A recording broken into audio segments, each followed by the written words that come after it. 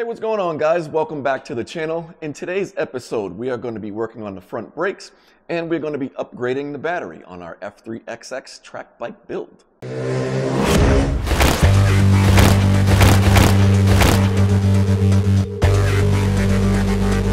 Welcome back guys. So like I said, today we're going to be working on the front brakes. Nothing special. We're just swapping out the lines that on there for a slightly shorter line. The other thing we're doing is we are upgrading our battery. So this bike already had a lightweight a lightweight lithium ion anti-gravity battery. However, um, one of you awesome subscribers said, hey Derek, check out, I think it's Solice or Solice, uh, French battery manufacturer. He said they make super small batteries, super light, and uh, can crank over your bike. You'll save some more weight. So I looked into them and um, actually I ended up going with this diminutive little guy here. This is the anti-gravity XPS SC1. So in size, for a size comparison, you can see these things. This is microscopic in comparison to the multi-cell anti-gravity here. So I'll put the specs up on the screen for the SC1 right now. That way you guys don't say that I'm lying or I don't know what I'm talking about and I don't misspeak. But um, this is a four cell uh, 12 volt battery um, and it's marketed as a race spec battery because it doesn't have any battery, battery management systems in it. So no BMS at all. So you can overcharge and you can overdrain this battery if you don't know what you're doing. As a result, you'll want to make sure that you get a proper battery charger like this Optimate here. Um, this is specifically made for charging lithium batteries and it has protection in it so that once the battery is fully charged, it stops and won't overcharge the battery and then it will just maintain it. Um, Anti-gravity also says that this battery can sit you know, in a corner without any um, parasitic draw on it for several years before it loses any charge. So awesome, light little thing, but um, let's head on over to my desk real quick and I'll show you what I'm talking about. All right, guys, we're over here at my desk. As you can see, we have three batteries. We have our anti-gravity XPS SC1. We have our anti-gravity ATZ-10 uh, and my um, old Scorpion battery. I love these. I, I've had really good success using the Scorpion lithium bat batteries. They offer great cranking power and they're less weight than the anti-gravity. So both of these weigh in the area of two pounds. I think they're within a few uh, ounces of one another, but this one, the Scorpion has way more cranking uh, power than this one uh, from anti-gravity. Both of them are, as you can see, way bigger than our XPS. So we're going to weigh all of these guys. Like I said, I don't have a standard lead acid battery over here, um, but those typically weigh in the area of six to seven pounds. Um, so keep that in mind when we're looking at uh, weights here. So first up, we'll do our Scorpion battery. This has all the mounting hardware on it. And this is one pound, 15.6 ounces. One pound, 15.6 ounces. So uh, what is that? 0.4 ounces below two pounds. So we'll weigh that one more time one pound, 15.6 ounces again. So pretty consistent. So we'll round that up to and say two pounds. We now have our, our anti-gravity lithium ion battery. This is two pounds, 1.6, 1.7 ounces. So again, a tad heavier than our Scorpion battery. We'll do that one more time. Again, two pounds, 1.6 ounces. So again, we can round that down to two pounds if you want. And then our XPS. This is 13.7 ounces, so not even a full pound. We're still more than two ounces away from a full pound, so 16 ounces is a pound. 13.6 ounces. So what that's basically saying is we just dropped a pound of weight over our current anti-gravity um, lithium ion battery. And if we're comparing that to a lead acid battery, we just lost roughly five to six pounds off the bike. Now, having said that, I, will mention again that this is um, marketed as a race spec battery because there's no battery management system in it. So it's not intended to be used on a street bike. However, if you do some research, you'll find, you'll find some reviews where users have in fact installed this on their street bike. And I think the average length of time that you get out of this battery in a street application is about uh, two years, roughly 24 months. But I wouldn't expect anything more than that because again, it's not intended for that. Um, in addition, let me turn this off so I'll stop. So anti-gravity says this can be used in applications up to 1300 cc's. So it shouldn't have any problems turning over our, um, our 800cc inline 3 MV Agusta. Um, also, there's a video out there of um, anti-gravity using this bike to turn over a big American V8 engine. So this bike, uh, this battery has plenty of cranking power, again with 150 cranking amps out of a four cell tiny battery. These are typically anywhere from 12 to 16 cells. So um, yeah, so I'm really looking forward to this. Um, it should help us out a lot. And like I said, uh, we just lost a pound. The, the, the pound that we gained by adding uh, our i2M Chrome Pro 2 stuff or our OZ racing wheels, because if you remember, the rear OZ racing wheel was one pound heavier than the one that came off the bike. We just saved that weight right here by installing this diminutive, tiny little battery. So my plan for installing this in the bike is to use these heavy duty zip ties. Ironically, um, every battery tray that you can buy for this online is made out of either steel or alum aluminum. And um, all of them are as heavy or heavier than the battery itself. So the last thing I wanted to do was, you know, scale down to this lightweight battery and then put it in a battery tray that just adds all that weight back. It, I would have if that was the case, I would have just stayed with the anti-gravity, the larger anti-gravity battery here. Anyway, so here is the stock battery tray with some foam already installed. It installs like this, so the air box is here and the rear of the bike is here, um, and it sits in this way. You can see I've drilled a hole here to allow the large zip tie to pass through it. The large zip tie will pass around the frame this will install in here. I plan on putting a little double-sided stick tape here, but uh, this will wrap around and cinch this down and I've already tested it and checked it. It's not going anywhere. Um, as an added precaution, we could add some foam over here so that it doesn't move left to right, but trust me, with a double-sided stick tape, the padded bottom, and the um, heavy-duty zip tie going over it, it's not going anywhere. So that's what I plan to do. Let's head on over the bike and put this in.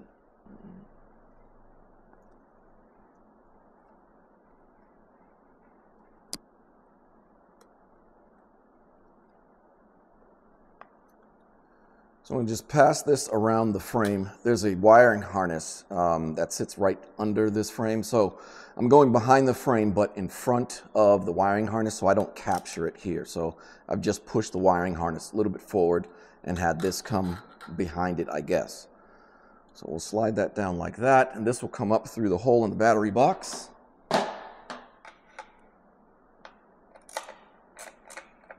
All right, battery box is installed.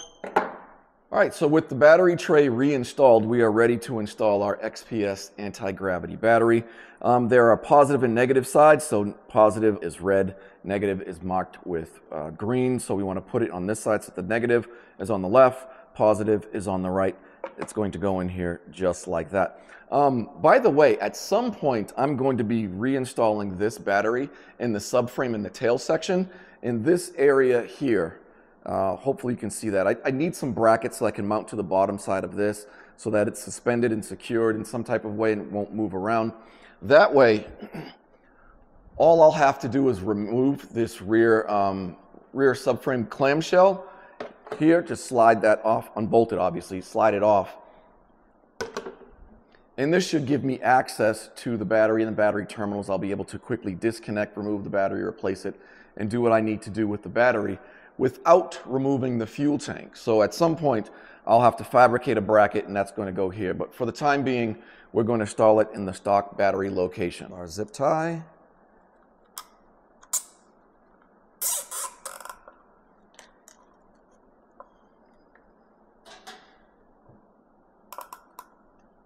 Like that. That battery is not moving. All right, we're ready to make our connections here. So this is a negative cable. This comes on over this way. Okay, so we have our connections for our Optimate trickle charger, our connections for our i2M Chrome Pro 2, and then just the um, battery cables for the bike. So not a whole lot connected to this bike. Grab that, that.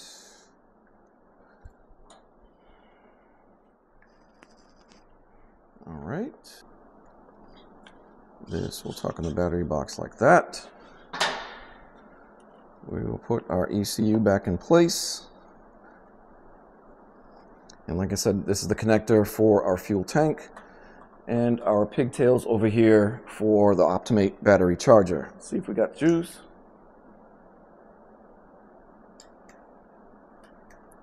No juice still. A few moments later. Well, that sucks. So our I2M positive line popped off the end here. So I'll need to resolder that with this shorty line here. Um, but that's a simple fix. All right, so I've made the repair to the I2M positive line here. So now we could test to see if we have power. And we do. And we have a display. So we are good there. I've already gone ahead and plugged in our Optimate trickle charger. So now we can turn our attention to the front brakes. All right, guys, sorry about that. I know it wasn't a big deal for you, but it's a few days later, as you can tell. Um, life happened, so I had to step away from the bike for a couple of days, but we can uh, finally get back to it and turn our attention to the front brakes again. The reason I'm changing out the brake lines is that these lines are a little bit too long, particularly over here on the right side because of how the interior side of the right side uh, fairing is shaped. Um, when you're turning the handlebars, you know, left, right, lock to lock, what's happening is this line is getting bunched up and it's getting caught and it's uh, inhibiting movement of the, the forks left to right and, and actually navigating and steering the bike. So I'm just going to be throwing this line on, which is a lot shorter. So short, in fact, particularly on the left side, that I had to, had to order a new shorty line. So this should help us on the left side. And while I'm at it, I figured I'd throw on this Stahlbus um, quick bleeder for our brake master cylinder up here because I really enjoy these. These work a lot better than any of the other um, speed bleeders I've used in the past. Obviously, I have a set on both the calipers here, and it just made sense that I put one up here on the brake master cylinder. So quick stuff. First thing I need to do is um, I need to obviously evacuate all the fluid from the lines. So I'm going to be using this vacuum pump here along with my air compressor to first initially suck the fluid out of the reservoir and then I will do the same from each caliper.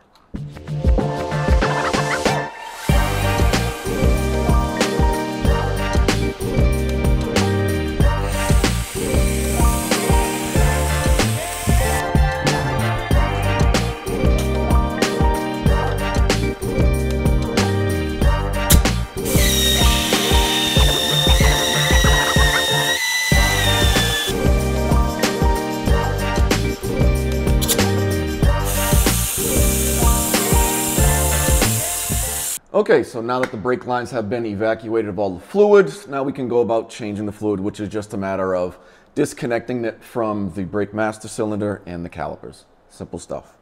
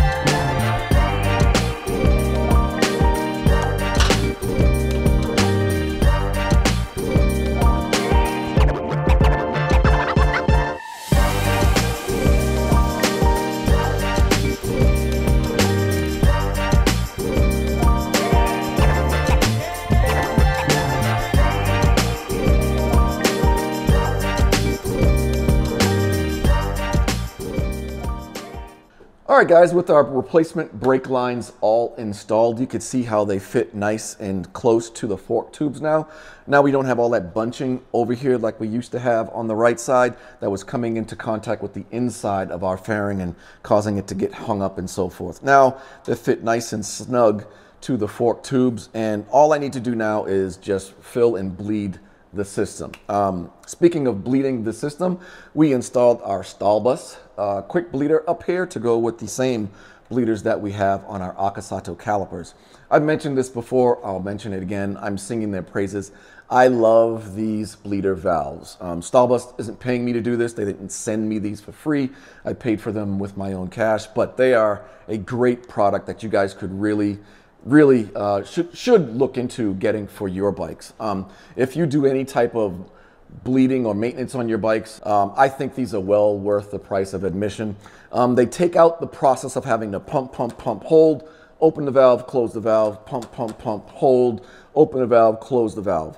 That's no longer needed. All you need to do is do a, a quarter turn of the top of the valve and just pump. No longer do you have to worry about air being sucked back into the system because of the valve. There's a ball valve in there that opens and closes with pressure. So every time we squeeze the lever, pressure is being forced um, through the valve. So fluid and air are forced out of that valve. And then when we release the lever, the ball valve closes and doesn't allow air to come back in. So there's no more pump, pump, pump, open, close, pump, pump, pump, open, close. We can just pump. Watch the fluid level in our reservoir to make sure it doesn't drop too low. Fill it as necessary, and then we can pump. And as we pump, it'll force fluid and air out of the system. And eventually, it may still take a while because um, air can get trapped in the calipers. Sometimes it could hide in the lines if there are bends and kinks. Or sometimes it could just, you know, get hung up somewhere in our brake master cylinder. So it will still take some time, but um, it'll take a lot less time because, and it's a lot less aggravating uh, because we don't have to do this. It's no longer a two person job. Sometimes if you don't have the reach and you can't do one of these, Sometimes you may have to have a second person over there at the caliper, manning that caliper as you pump, pump, pump, and they open and close the valve, and then you let, you know, do that thing.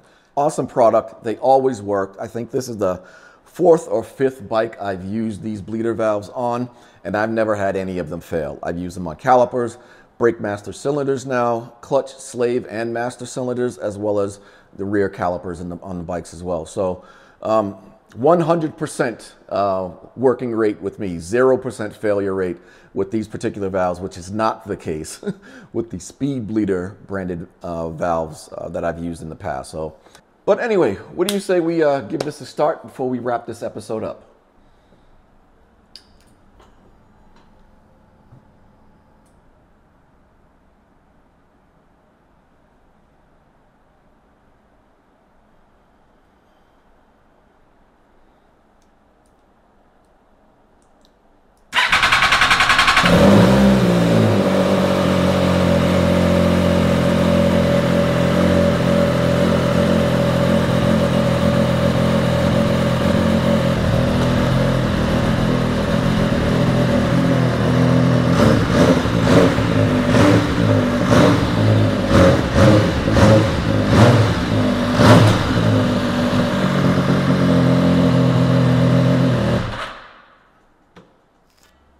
Guys, there you go. She still sounds a little bit eh because uh, one, the DB killer's in it, and two, she's probably still running super lean because she hasn't been tuned and she's gulping in lots of air and um, probably isn't dumping in enough fuel to, uh, to accommodate. But uh, we'll get that worked out in the coming weeks before she gets back out on the track. Um, unfortunately, I cannot remove the DB killer because my local track has a uh, sound decibel limit, and if I remove the DB killer, she most likely won't pass. So um, that's disappointing, but uh, it is what it is. But uh, we can wrap up this episode. I am Derek. This is Euro Superbike Life. Until next time, guys, take care.